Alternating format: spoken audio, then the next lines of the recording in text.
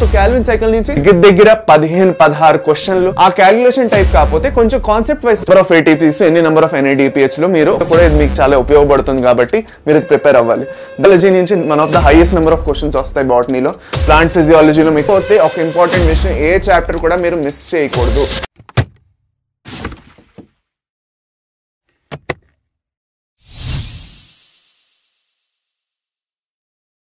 Hello champions ఒక BiPC student అయి మీరు ఎంసెట్ రాస్తున్నారు అంటే అగ్రికల్చర్ ఇంక వెటనరీ కోర్సెస్ కోసం చదువుకుంటున్నారు అంటే ఈ పర్టికులర్ సెషన్ మీకోసం ఈ సెషన్లో నేను మూడు ఇంపార్టెంట్ పాయింట్స్ డిస్కస్ చేయబోతున్నాను.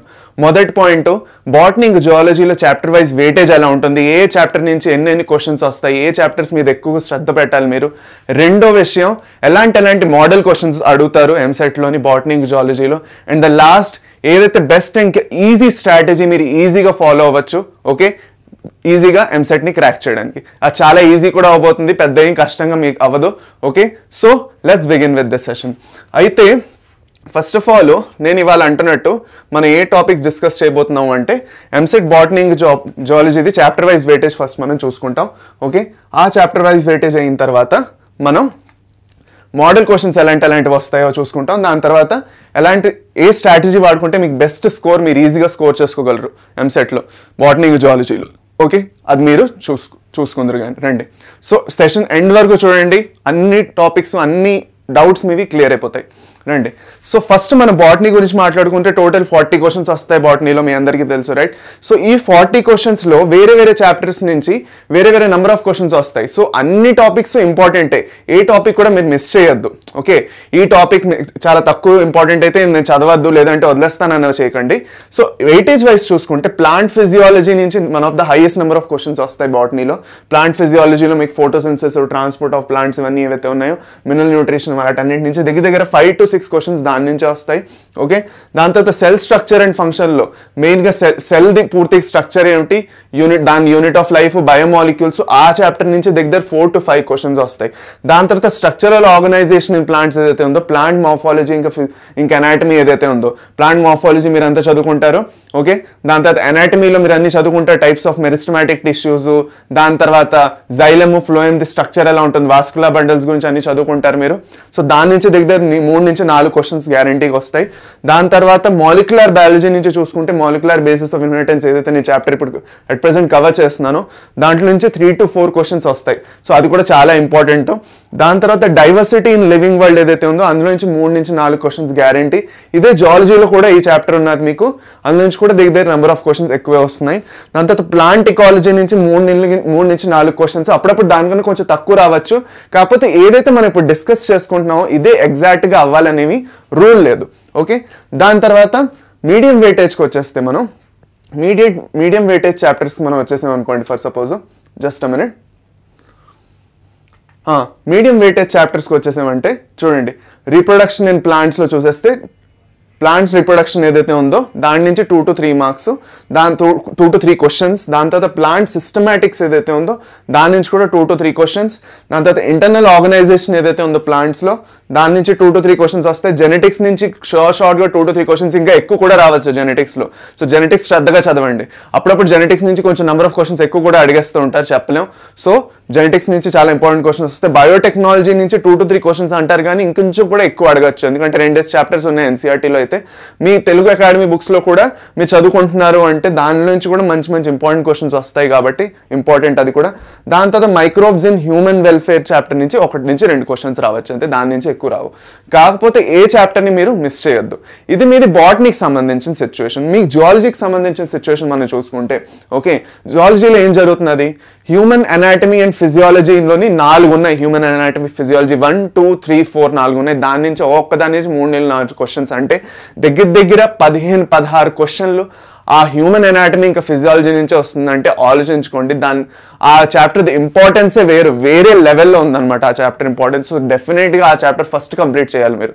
ఓకే జువాలజీలో దాని తర్వాత animal diversity one and two నుంచి four to five questions okay మొత్తం టైప్స్ ఆఫ్ ఏవైతే మొత్తం ఫైలం అవన్నీ ఉన్నాయో ఫైలా అవన్నీ చూసుకోవాలి. దాని తర్వాత హ్యూమన్ రిప్రొడక్షన్ నుంచి కూడా త్రీ టు ఫోర్ క్వశ్చన్స్ వస్తున్నాయి గ్యారంటీగా ఈ మధ్య. సో నంబర్ ఆఫ్ క్వశ్చన్స్ ఇక్కడ వరకు నాలుగు క్వశ్చన్స్ మ్యాక్సిమం రావచ్చు. దానికన్నా ఎక్కువ రాదు హ్యూమన్ రిప్రొడక్షన్ డోంట్ వరీ దాని తర్వాత పెరి ప్లానెట్ అమెరికన్ ఏదైతే కాక్రోచ్ ఉందో ఓకే కాక్రోచ్ గురించి స్పెసిఫిక్గా అప్పుడప్పుడు మూడు నుంచి నాలుగు క్వశ్చన్ కాకపోయినా కొంచెం అప్పుడప్పుడు టూ టు త్రీ క్వశ్చన్స్ కూడా రావచ్చు. సో కొంచెం ఎక్కువ తక్కువ అవుతుంటాయి ఈ చాప్టర్ నుంచి. సో ఈ టాపిక్ నుంచి మీరు బాగా ప్రిపేర్ అవ్వడం ఎందుకు ఇంపార్టెంట్ అంటే మీకు ప్రాక్టికల్స్ వైజ్గా కూడా ఇది మీకు చాలా ఉపయోగపడుతుంది కాబట్టి మీరు ఇది ప్రిపేర్ అవ్వాలి. దాని తర్వాత డైవర్సిటీ ఇన్ లివింగ్ వరల్డ్ చూసుకుంటే టూ టు త్రీ క్వశ్చన్స్ డెఫినెట్గా వస్తున్నాయి. దాని నుంచి బయాలజీ ఇన్ హ్యూమన్ వెల్ఫేర్ నుంచి త్రీ టు ఫోర్ క్వశ్చన్స్ ఇప్పుడు నెక్స్ట్ మనం కొంచెం మీడియం వెయిటేజ్ చాప్టర్స్కి వచ్చేస్తే ఇవల్యూషన్ నుంచి ఒకటి నుంచి రెండు క్వశ్చన్స్ వస్తున్నాయి అంతే. దాని తర్వాత అప్లైడ్ బయాలజీ నుంచి వన్ బయాలజీ నుంచి వన్ టు రెండు questions locomotion and reproduction in protozoa ఇది స్పెసిఫిక్గా వేరేగా ఈ చాప్టర్ పెట్టడం జరిగింది కాబట్టి దాని నుంచి వన్ టు టూ క్వశ్చన్స్ వస్తాయి. దాని తర్వాత structural organisation in animals animal tissues ఏవైతే ఉన్నాయో మొత్తం మీకు. ఓకే నాలుగు టైప్స్ ఆఫ్ యానిమల్ టిష్యూస్ ఉన్నాయి. Connective tissue nervous tissue epithelial tissue okay even muscular tissue నాలుగు టిష్యూస్ గురించి పూర్తిగా మంచిగా చదువుకోవాలి. One to two questions guarantee దాని నుంచి దాని తర్వాత జెనెటిక్స్ నుంచి ఇక్కడి నుంచి కూడా వన్ టు టూ క్వశ్చన్స్ రావచ్చు. ఏదైతే జెనెటిక్స్ జువాలజీ బేస్డ్ జెనెటిక్స్ ఉందో దాని నుంచి ఒకటి నుంచి రెండు క్వశ్చన్స్ రావచ్చు. ఇప్పుడు ఇక్కడ వరకు మనకి క్లియర్ అయిపోయింది. ఏ ఏ చాప్టర్స్కి ఎక్కువ ఇంపార్టెన్స్ ఇచ్చి ఫస్ట్ అవి కంప్లీట్ చేసుకొని తర్వాత మిగతా చాప్టర్స్కి వెళ్ళాలో తెలిసిపోయింది. ఫస్ట్ హై వెయిటేజ్ చాప్టర్స్ మీరు కంప్లీట్ చేస్తారు. దాని తర్వాత మీడియం వెయిటేజ్కి వస్తారు. కాకపోతే కంప్లీట్ చేయడం మీరు అన్ని చాప్టర్స్ కంప్లీట్ చేయాలి. ఓకే ఇది మీకు ఇంపార్టెంట్ విషయం. దాని తర్వాత టైప్స్ ఆఫ్ మోడల్ క్వశ్చన్స్ ఎలాంటి ఎలాంటి టైప్స్ ఆఫ్ క్వశ్చన్స్ వస్తాయో కొంచెం చూసుకుందాం. నేను ఒక previous year botany question paper తీసుకున్నాను. ఇలాంటి క్వశ్చన్స్ సేమ్ మీకు జువాలజీలో కూడా రిపీట్ అవుతాయి. మోడల్ చేంజ్ అవ్వదు. క్వశ్చన్స్ చేంజ్ అవుతాయి ఆఫ్ కోర్స్ సో మోడల్ సేమ్గా ఉంటుంది.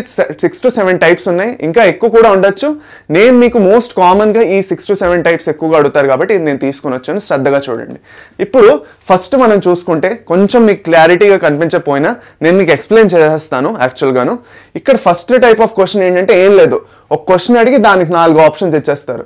The families which along to the order Polemoniales అని ఇచ్చేస్తారు. లేదంటే the nitrogen base uracil is absent in organism causing అని ఇచ్చేసి నాలుగు ఆప్షన్లు ఇచ్చేస్తారు. సో జస్ట్ ఒక క్వశ్చన్ అడిగి నాలుగు ఆప్షన్లు ఇచ్చే టైప్ది మోడల్ వన్ ఇది చాలా ఈజీ మనకి. ఏదో ఒక ఆప్షన్ ఈజీగా చూస్ చేసుకొని వెళ్ళిపోవచ్చు. ఫస్ట్ టైప్ ఇది. రెండో మోడల్ చూసుకుంటే ఏం జరుగుతున్నది అంటే రెండో మోడల్లో వాళ్ళు ఏమంటారంటే నాలుగు కాంబినేషన్స్ ఇచ్చేస్తారు. ఓకే ఆ నాలుగు కాంబినేషన్స్లో ఏ కాంబినేషన్ కరెక్ట్ అని అడగచ్చు వాళ్ళు. అర్థమైందా? సో ఇక్కడ మనం చూసుకుంటే టెరిస్ ఆఫ్ వైట్ అది.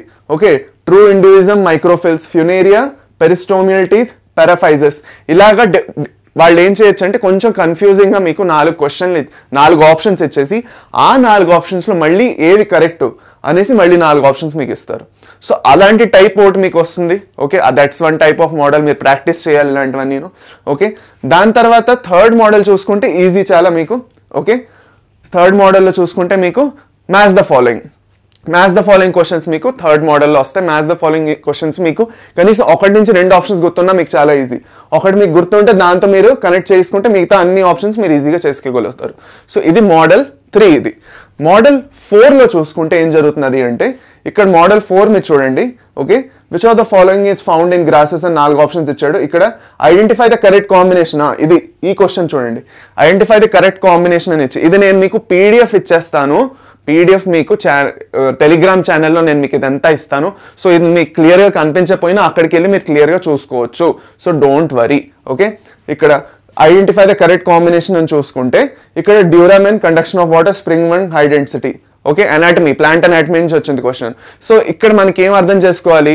ఒక్క కరెక్ట్ ఆప్షనే ఉంటుంది అంతే. ఒక కాంబినేషన్ అక్కడ కాంబినేషన్స్ ఇంకా నంబర్ ఆఫ్ ఆప్షన్స్ కూడా మళ్ళీ ఇవ్వడం కాకుండా ఇక్కడ అలా ఏమీ లేదు. ఇక్కడ జస్ట్ ఒక ఒక ఆప్షన్ మీరు కరెక్ట్గా పెట్టుకోవచ్చు. ఇది ఒక టైప్ ఆఫ్ మోడల్ క్వశ్చన్ తర్వాత ఫిఫ్త్ టైప్ ఆఫ్ మోడల్ ఏంటంటే క్యాలిక్యులేషన్ బేస్డ్ క్వశ్చన్స్ రెస్పిరేషన్లోని ఇప్పుడు ఇది మెయిన్ మీకు క్యాల్విన్ సైకిల్తో సంబంధించిన నేను మీరు ఆల్రెడీ క్యాల్విన్ సైకిల్ నా క్లాస్ చూస్తుంటే దాంట్లో నేను మీకు ఆల్రెడీ సాల్వ్ చేయించండి ఇలాంటి క్వశ్చన్ ఒకటి. సో అన్ అందులో మీరు సాల్వ్ చేయించకపోయినా వేరుగా నేను కావాలంటే మీకు ఇంకో క్లాస్ తీసుకుని ప్రీవియస్ ఇయర్ క్వశ్చన్స్ మనం చేద్దాం. No need worry EAMCET NEET రెండింటివి చేద్దాం. కాకపోతే నేను టైప్ ఆఫ్ క్వశ్చన్ చూసుకుంటే ఇక్కడ ఓకే మీకు క్యాల్కులేషన్ బేస్డ్ క్వశ్చన్ అనమాట ఇన్ని నెంబర్ ఆఫ్ ఇన్ని నెంబర్ ఆఫ్ ఏటీపీస్ ఎన్ని నెంబర్ ఆఫ్ ఎన్ఐడిపిహెచ్లో మీరు క్యాల్విన్ సైకిల్కి క్వశ్చన్ అడిగారు. క్యాల్కులేషన్స్ చేయాలి. క్యాల్కులేషన్ బేస్డ్ క్వశ్చన్స్ కూడా చాలా ఇంపార్టెంట్ మీకు. దాని తర్వాత చూసుకుంటే ఇక్కడ ఏం జరుగుతున్నది? ఇక్కడ చూడండి. అరేంజ్మెంట్ చేయాలి. Arrange the following steps in the process అంటే డిఎన్ఏ ఐసోలేషన్ చేస్తున్నప్పుడు ఎలాంటి ఎలాంటి స్టెప్స్ ఉన్నాయి? ఆ స్టెప్స్ని మీరు ఒక ఆర్డర్లో పెట్టాలి. ఓకే ఫస్ట్ ఏం జరుగుతున్నది? సెకండ్ ఏం జరుగుతున్నది? థర్డ్ ఏం జరుగుతున్నది? ఫస్ట్ మీరు ఏం చేస్తున్నారు? ప్రెసిపిటేషన్ చేస్తున్నారా? ట్రీట్ చేస్తున్నారా? ఏం చేస్తున్నారు? ఫస్ట్ మీరు ఏం చేస్తారు? ఓకే ఫస్ట్ మీరు ఏం చేస్తారు చూడండి treating cell with cellulose or chitin degrading enzyme first cell wall break చేస్తారు. దాని తర్వాత ప్రోటీసెస్ రైబోన్యూక్లియసెస్ తోటి దాన్ని ట్రీట్ చేస్తారు. లాస్ట్ ప్రెసిపిటేట్ చేస్తారు స్పూలింగ్ చేస్తారు రిమూవ్ చేస్తారు. సో ఇలాగ మీరు అరేంజ్మెంట్ చేయాలి. ఆ అరేంజ్మెంట్ కూడా ఆప్షన్స్ వాళ్ళు ఇస్తారు. So arrangement type of questions కూడా వస్తాయి. ఇదొక model number six last model number seven ఇప్పుడు రీసెంట్గా ఎక్కువగా అడుగుతున్నారు ఏంటంటే assertion reason type of questions ఇది ఎయిమ్స్లో కూడా అడిగేవారు చాలా ఓకే మీకు ఎంసెట్లో కూడా అడుగుతారు. అసెషన్ రీజన్ టైప్లో ఏమీ లేదు ఓకే ఒక ఎసెషన్ ఇస్తారు ఒక రీజన్ ఇస్తారు.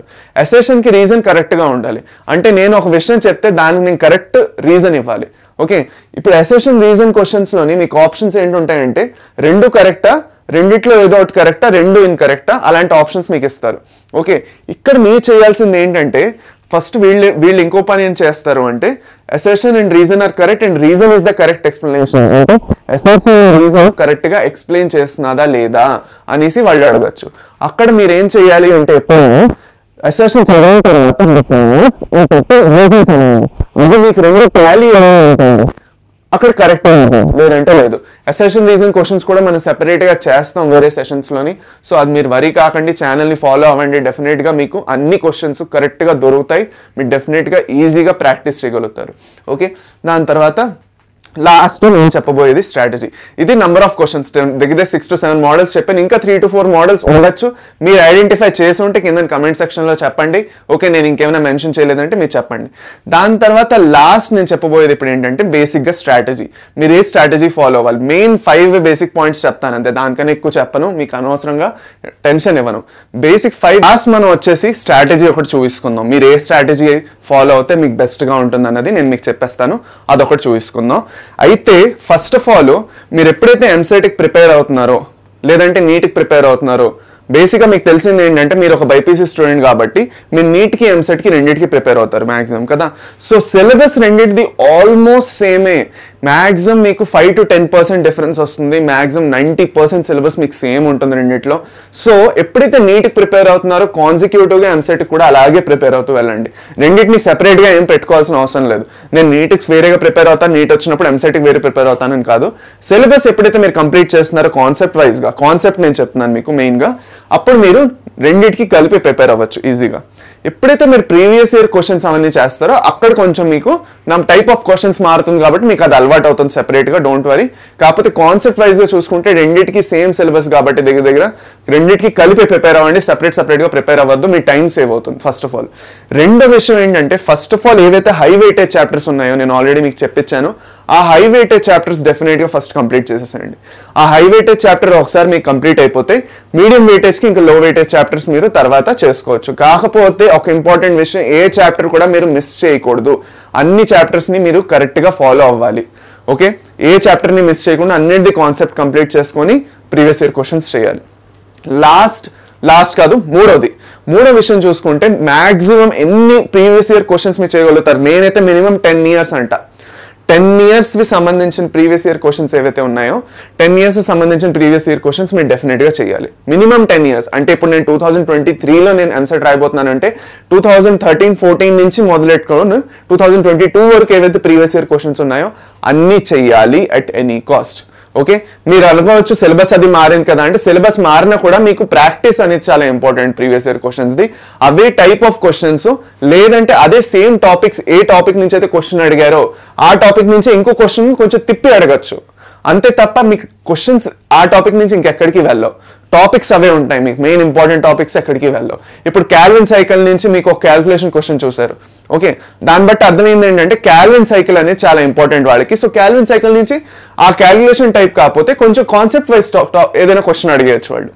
సో అర్థమవుతుందా మీకు? ఇలాగా మీరు డెఫినెట్గా టాపిక్స్ అనేది మాత్రం మిస్ చేయొద్దు. ఓకే ప్లాంట్ ఫిజియాలజీ అందుకే చాలా ఇంపార్టెంట్ దాని తర్వాత మీరు చూసుకుంటే మాక్ టెస్ట్ నేను ఎన్నిసార్లు చెప్పినా తక్కువే ఓకే? నేను చాలాసార్లు చెప్పుంటాను మీరు కూడా చాలాసార్లు వినుంటారు.